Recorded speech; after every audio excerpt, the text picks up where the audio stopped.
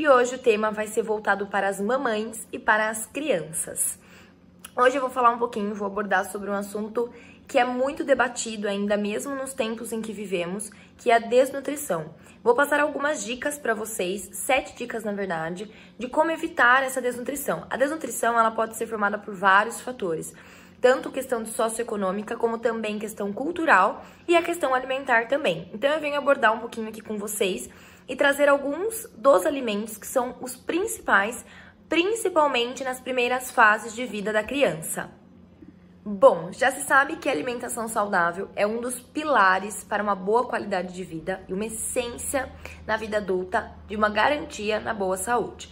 E não é à toa que as mamães se preocupam absurdamente com a alimentação dos seus filhos e de fato devem se preocupar sim, pois é na primeira fase da vida, na primeira infância, que as crianças conseguem absorver bastante e até uma quantidade, uma quantidade até um pouco maior do que os adultos de vitaminas e minerais que garantem com que ele vá ter uma vida adulta saudável.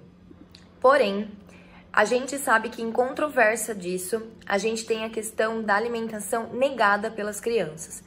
Conforme vai mudando as fases, o paladar vai mudando um pouco e a gente sabe que as crianças têm muita negação.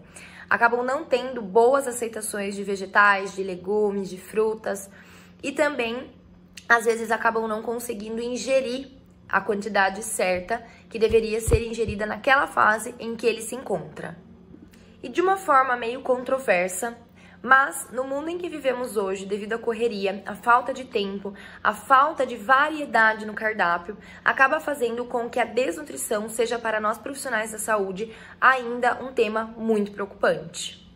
E os dados do Ministério da Saúde vêm para comprovar isso que eu acabei de falar para vocês, dessa nossa preocupação.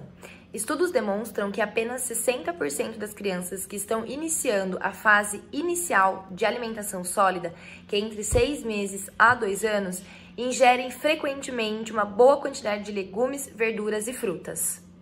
Em contrapartida, mais de 40% dessas crianças já consomem, já têm contato na alimentação com alimentos industrializados e riquíssimos em açúcares e gorduras trans. E esses dados mostram pra gente uma alerta realmente do cenário de desnutrição que estamos vivendo nos dias atuais. Agora eu vou citar alguns nutrientes que são essenciais durante a fase da infância e onde nós podemos encontrar, em quais alimentos nós podemos encontrar esses nutrientes tão preciosos. O primeiro nutriente que eu venho trazer aqui para vocês é o ferro, que é um mineral e ele é muito importante para a parte de desenvolvimento físico e psicomotor na parte da infância. A sua carência pode levar à anemia ferropriva, que afeta tanto o crescimento do seu filho quanto também a questão de aprendizado. Nutre onde encontramos o ferro para poder dar para os nossos filhos. Nos vegetais verdes escuros, como couve, o brócolis, beterraba, feijão. O segundo mineral que eu trago aqui para vocês é o zinco. Por estar relacionada com algumas reações hormonais e algumas reações enzimáticas, ele acaba tendo uma ação muito importante no corpo da criança, principalmente. Ele acaba ajudando, né, no desenvolvimento dela e na questão cognitiva também. Então, a sua falta, a sua carência pode limitar a questão do crescimento da criança, alterar paladar e também na questão cognitiva. Nutri, e onde encontramos o zinco? Na escarola, no agrião, no farelo de trigo, na aveia, o terceiro mineral que eu trago é o cálcio, que é de extrema importância para a formação do conjunto esquelético, o crescimento e a formação dos dentes e ossos. Sua carência pode prejudicar o desenvolvimento da estatura, levando a complicações como raquitismo e má formação dos ossos. As principais fontes alimentares que encontramos esse mineral é principalmente os produtos lácteos e seus derivados, porém podemos encontrar também boas quantidades em vegetais, como brócolis, a couve, a questão das castanhas. Para melhorar a sua absorção, devemos ingerir uma boa quantidade também de vitamina D, pois ela faz com que o cálcio seja absorvido de uma forma mais fácil pelos ossos. E onde encontramos esse esse nutriente também, essa vitamina. A vitamina D ela pode ser encontrada nos peixes e também nos ovos. Outro nutriente que eu venho trazer para vocês, que não pode faltar na alimentação da criança, é a vitamina A. Além dela ser importantíssima para a questão de saúde ocular, ela também acaba intervindo para o sistema imunológico estar sempre bom e para a questão também do crescimento da criança. E lembrando que a vitamina A ela pode ser considerada um nutriente essencial, pois o nosso corpo ele não produz a vitamina A, sendo exclusivamente a fonte, as fontes alimentares a forma de suprir a nossa necessidade. E onde podemos encontrar a vitamina A? Na gema de ovo nós encontramos uma boa quantidade, nos vegetais folhosos verdes escuros e também nas frutas como manga e mamão. Pois é, minha gente, diante desse cenário, como podemos enfrentar essa situação atual? É indiscutível que tem que ter um diagnóstico médico para que ele consiga ver todas as maneiras possíveis que levaram a essa desnutrição e como é a melhor forma de tratá-la, sendo pela alimentação, sendo por uma suplementação. Mas também, ao mesmo tempo, é imprescindível ter junto nesse acompanhamento médico um tratamento nutricional para que nós nutricionistas possamos intervir na alimentação da criança e fazer com que haja uma boa e nova ingestão de novos alimentos e que ele consiga, através desses alimentos colocados na alimentação diária, na sua dieta, nós possamos fazer com que ele absorva os nutrientes necessários para sair deste distúrbio. Contudo, é importante ressaltar que algumas medidas podem e devem ser tomadas pelos pais a fim de se prevenir ou sair deste problema. A primeira dica: estabeleça horários de comida para seus filhos. Eles precisam ter uma questão de organização para que evite que eles fiquem beliscando ao longo do dia ou que eles fiquem em intervalos muito longos sem se alimentar. Incrementar essa rotina alimentar na vida deles vai fazer com que eles consigam, consigam criar um hábito alimentar melhor, mais saudável e consigam se organizar desde a fase da infância. A segunda dica é: faça alterações no cardápio com variedades de alimentos que sejam mais atrativos e mais palatáveis para questões dos seus filhos. Dessa forma, eles conseguem ter dentro da alimentação uma variedade maior e uma absorção de mais nutrientes.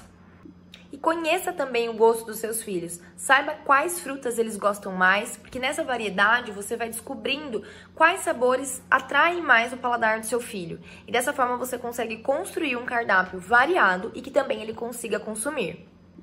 A terceira dica que eu trago é Evite a presença de alimentos industrializados ricos em açúcares e conservantes desde cedo na alimentação do seu filho. Isso dificulta com que ele entenda que os alimentos saudáveis são os melhores, porque dificulta a questão da palatabilidade e também a consciência dele em relação aos alimentos. Ele sempre vai achar que os alimentos industrializados são melhores do que os alimentos naturais e então acaba confundindo um pouquinho a questão da introdução desses novos alimentos.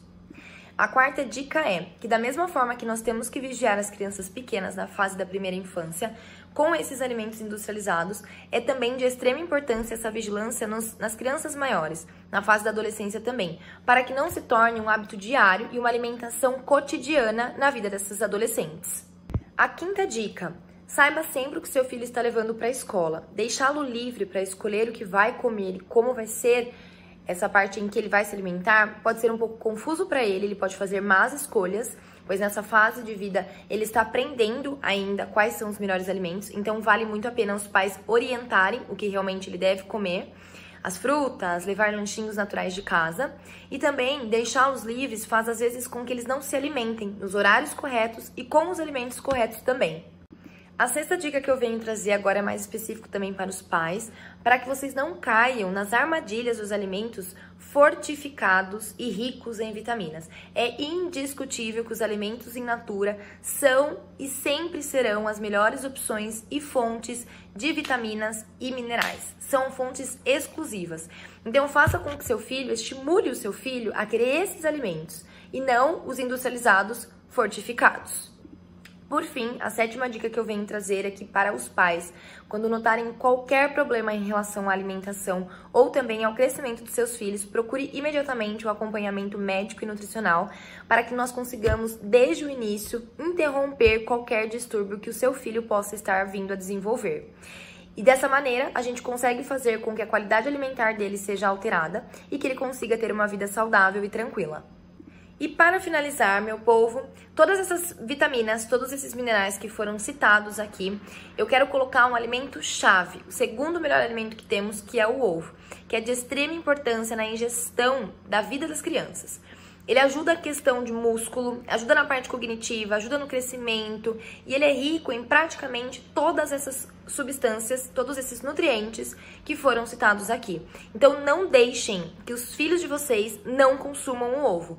Pelo contrário, faça do ovo um consumo, um alimento, né, de consumo diário na vida deles, pois é de extrema importância. E quando se trata de ovos, sempre a melhor opção é a Label Rouge, que sabe cuidar das suas aves e tem uma consequência extremamente benéfica na questão dos nutrientes presentes em seus ovos. A Label Rouge tem também uma linha apropriada para criança, é uma linha infantil. Então, já sabemos, alimentação diária tem que ter ovo e ovo é sempre a opção Label Rouge.